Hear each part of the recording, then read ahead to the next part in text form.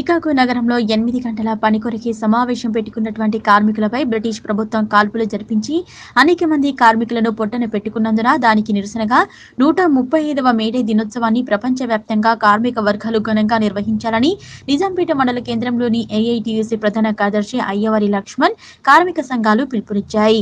ఈ సందర్భంగా వారు మాట్లాడుతూ కార్మికులకు వ్యతిరేకంగా తీసుకువచ్చినటువంటి కోప్టా చట్టాన్ని వెనక్కి తీసుకోవాలని అన్నారు. భవన నిర్మాణ కార్మికులకు సంక్షేమ పథకాలు లక్షల పెండింగ్లో ఉన్నాయని వాటిని వెంటనే చెల్లించాలని డిమాండ్ చేశారు.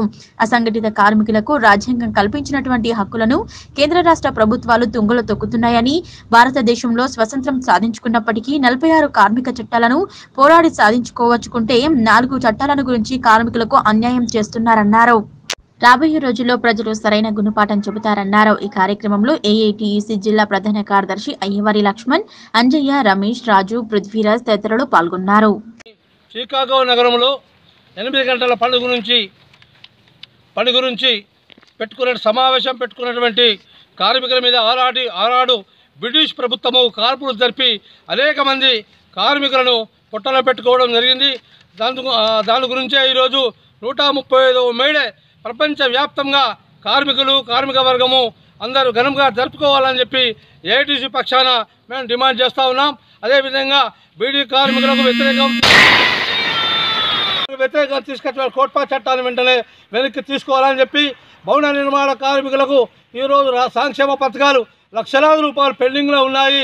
ఆ పెండింగ్ బిల్లులు వెంటనే చెల్లించాలని చెప్పే చెప్పేసి మేము డిమాండ్ చేస్తూ ఉన్నాం.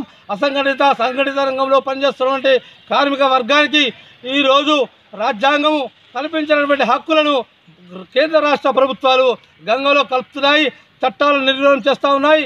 భారతదేశము భారతదేశ స్వాతంత్రం వచ్చి నుంచి నలభై ఆరు కార్మిక చట్టాలను కార్మికులు పోరాడు సాధించుకొని తీసు తీసుకొచ్చి తీసుకువచ్చుకుంటే ఈరోజు నాలుగు చట్టాలుగా గురించి కార్మికులకు అన్యాయం చేతా అన్యాయం చేస్తా ఉన్నారు.